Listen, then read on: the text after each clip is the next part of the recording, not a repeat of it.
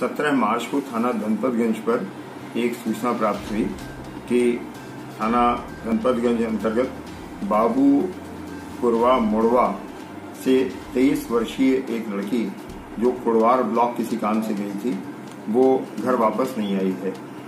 घर वालों ने ये भी सूचना दी कि लड़की का अपहरण हो गया है और संभवतः उसके साथ कोई दुर्घटना हो गई है, क्योंकि इस संबंध में उन्होंने कुछ ऑडियो, वीडियो और फोटोग्राफ उपलब्ध कराए, जिसमें पीड़िता के हाथ बंधे हुए थे।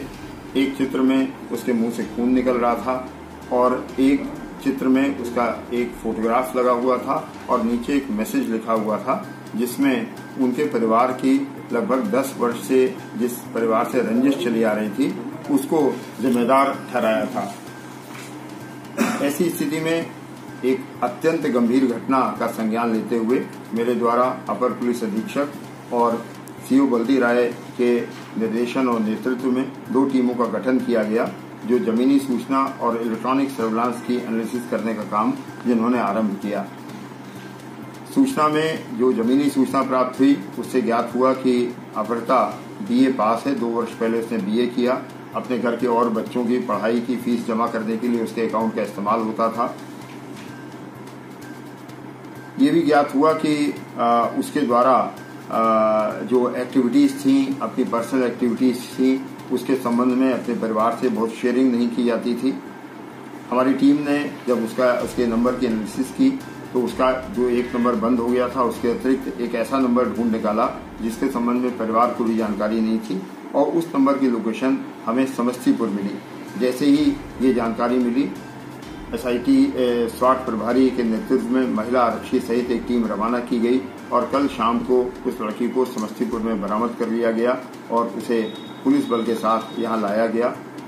जो मुकदमा लिखा हुआ था, उसकी धाराओं में परिवर्तित करके इसी पीड़िता के विरुद्ध धाराओं, उचित धाराओं का अभियोग पंजीकृत कर उसे रिमांड के लिए आज न्यायालय में प्रस्तुत किया जा रहा है।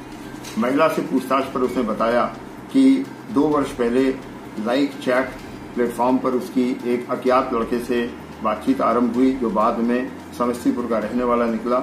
ये लड़की और लड़का दोनों आपस में एक दूसरे को चाहते थे, लेकिन ये जानकारी हुई कि लड़का मुस्लिम है और इसे लगता था कि इसके घर वाले मुस्लिम से विवाह करने के लिए तैयार नहीं होंगे।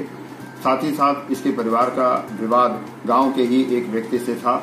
वो दोनों ही पर्पज सर्व करना चाहती थी, इसलिए स्वयं इसने अपने अपहरण का नाटक किया। वहाँ समस्तीपुर पहुंचकर इसने स्वयं को रस्ते से बांधकर फोटोग्राफ अपने फ़ोन से खींचा, वीडियो बनाए। सिंदूर ले गई थी क्योंकि ये विवाह करना चाहती थी। उस लड़के से उस सिंदूर को पानी में मिलाकर फैलाकर खून का प्रतिरूपण किया। इस प्रकार पूरी तरीके से गलत सूचना देकर अपने आप को अपहृत कराने, अपने आप का मर्डर होने की सूचना देने के आरोप में इसको न्यायिक इसको न्यायालय के सामने प्रस्तुत किया जा रहा है।